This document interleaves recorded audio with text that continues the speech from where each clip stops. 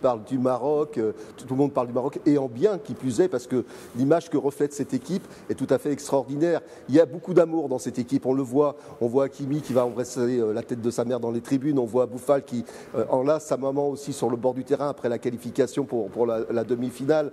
il y a énormément d'amour, ça transpire l'amour, et ça renvoie une image du Maroc extraordinaire au niveau international.